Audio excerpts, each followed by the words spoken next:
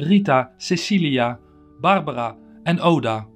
Vier heilige vrouwen die als inspiratiebron dienden voor de muzikale ontdekkingsreis Conversations with Friends van stadscomponist Angela de Weijer. Nou, in het uh, voorjaar van 2020 ben ik door uh, Phoenix Cultuur in Veghel en de provincie Noord-Brabant gevraagd of ik uh, stadscomponist wilde worden van Meijerijstad. En daar heb ik een ja op gezegd. En dat was niet omschreven van tevoren, dat mocht je helemaal zelf bepalen.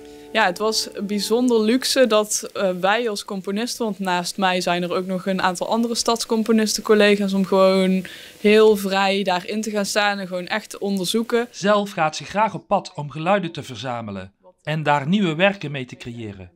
Maar dat viel nog niet mee in de lockdown, toen het sociale leven in Meijerijstad tot stilstand kwam en de geluiden op straat verstomden.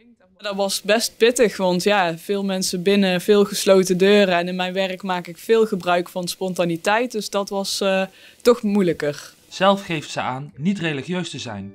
En toch maakten de levensverhalen van de vier heilige vrouwen een grote indruk op haar. Ik heb eigenlijk juist de, de vrouwelijke heilige soort van, ja, niet uitgekleed, maar de heiligheid een beetje geparkeerd. Um, zodat het meer gaat over hun uh, onconventionele uh, keuzes in het leven. Het zijn eigenlijk een soort van non-conformistische uh, dames die uh, zich niet wilden laten vangen in een huwelijk, juist niet. Hè, en andere keuzes wilden maken. En daar ben ik, naar dat soort klanken ben ik op zoek gegaan. Ja, het eindresultaat is 20 minuten muziek, waarvan ongeveer 5 minuten muziek per uh, vrouwelijke heilige die ik in Meijerijstad ben tegengekomen. Dus ik heb me daar uh, door laten inspireren. En voor elke heilige heb ik een, een thema ge uh, geschreven. En dat zou uitgevoerd gaan worden door organisten op de Meijerijse kerkorgels.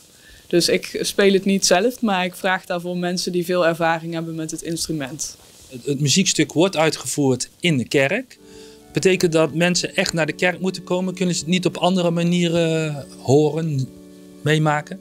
We hebben nu uh, ingestoken op een live concert, omdat ja, ik wilde eerst wel graag streaming, maar heel veel kerken hebben niet zo'n snelle internetverbinding. Wel met de Heer, maar niet uh, met glasvezel. Dus uh, het is bedoeld als live concert, maar ik ga nog wel opnames maken. En die worden nog uitgebracht in de toekomst. Voor die opnames moeten we helaas nog wel even geduld hebben. Want het concert van zaterdag 27 november is helaas uitgesteld tot het voorjaar vanwege nieuwe coronamaatregelen.